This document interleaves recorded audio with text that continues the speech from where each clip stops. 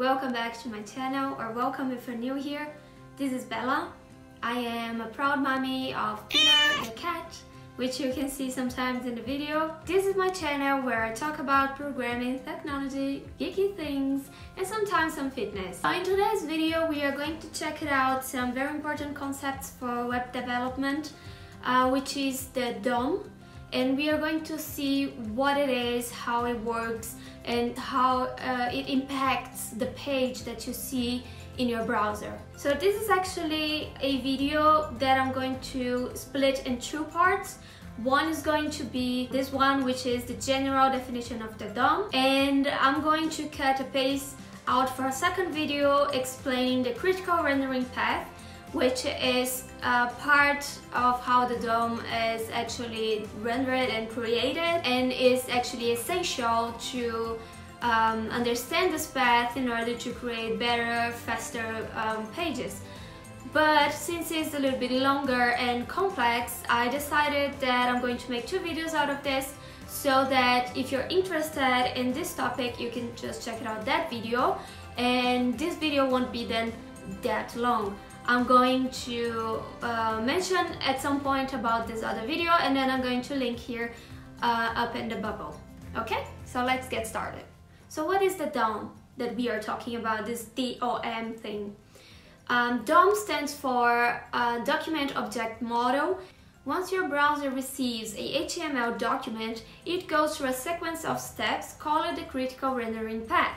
That's what I mentioned in the beginning and I'm going to link here in the bubble for you to check it out if you want to understand in more details what this path is about. So we can group all those steps in actually to summarize in two main big groups. So in the first stage, um, the document is parsed and the elements that are going to be displayed on the page are defined according to the HTML document and its uh, respective styles from the CSS. And in the second stage, the rendering itself takes place and the pixels are painted in your screen. The first stage results in the creation of a render tree.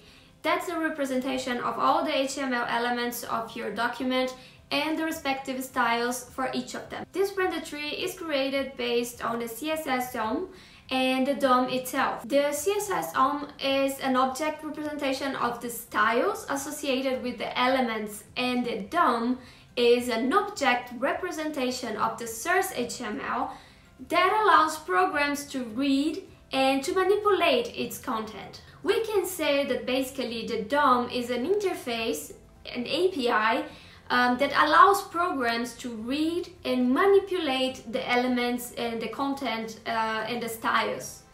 So these objects, in summary, are models of the HTML document that can be then used by various programs. The structure of this DOM is represented by a node tree. It's called a tree because a single parent branches into its children uh, which are the nested elements and the content inside these nested elements, these children, we represent them as the leaves. Let's take a look at an example so that we can materialize in our heads what we are talking about. If we have an HTML file just like this, a very simple one, we can see the head and the body element as children from the root element HTML.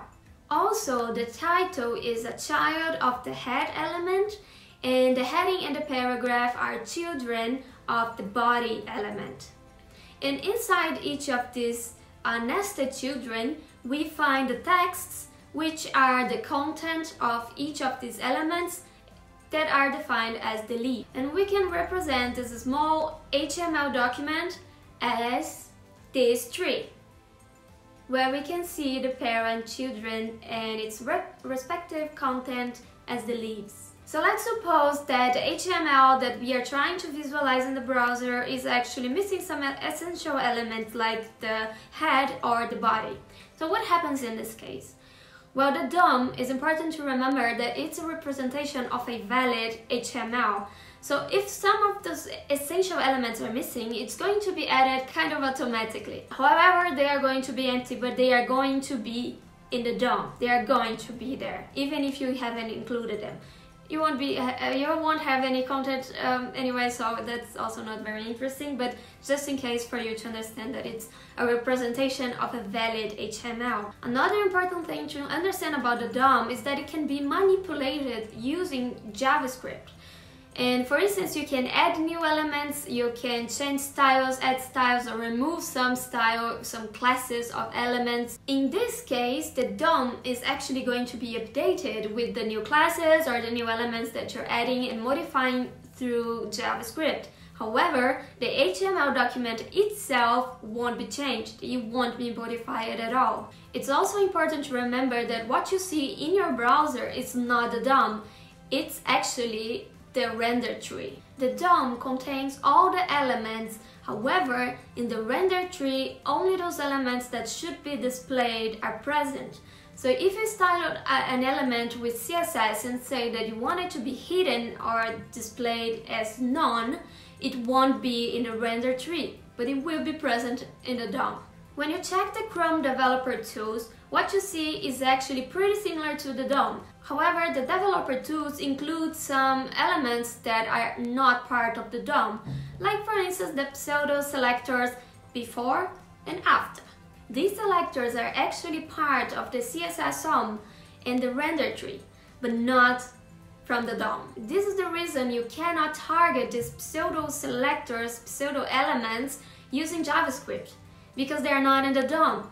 So just to summarize everything up, in a very short way, the DOM is an interface with access to the HTML document used by the browser to define what's going to be displayed in the viewport, which is your device, and the size of your device. It doesn't matter if the viewport can be your computer, can be your mobile. These are all viewports. And it also allows JavaScript programs to manipulate the content, the elements, the classes, the styling. The DOM will also be always a valid HTML and it doesn't include pseudo elements or hidden elements.